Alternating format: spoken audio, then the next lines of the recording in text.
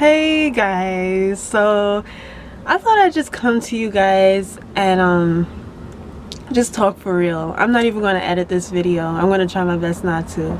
But I have tried to shoot this fabulous video about how to style your Senegalese twist.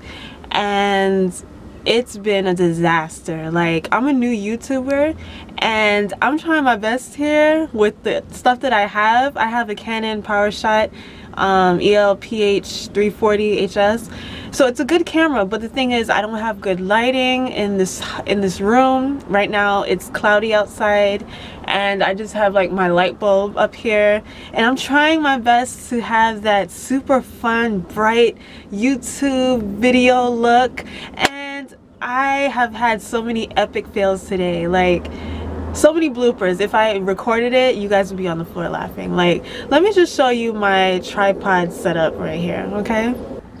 A hair barrette container. And I was just using my mirror as the thing to hold it up. So yeah, I I need a tripod. I really do. And let me show you my background, how it's holding up.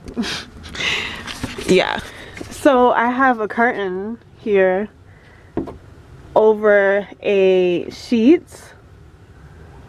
And um, guess what's actually behind all of this? My dirty room! For real, this is so hard. I'm trying my best with the things that I have, seriously. Let me show you the ultimate fail here right? So I'm using this door thing that actually broke in my house as the background to hold up the fabulous curtains to my fabulous studio. It's fabulous really fabulous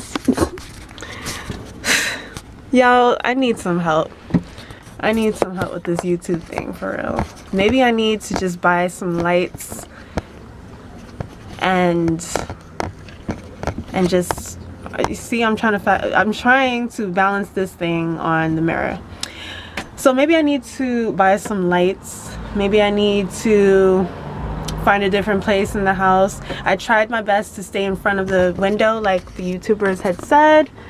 Front of the window and it's not giving me any light. I even tried to increase the LCD brightness on my camera and it's not bright enough.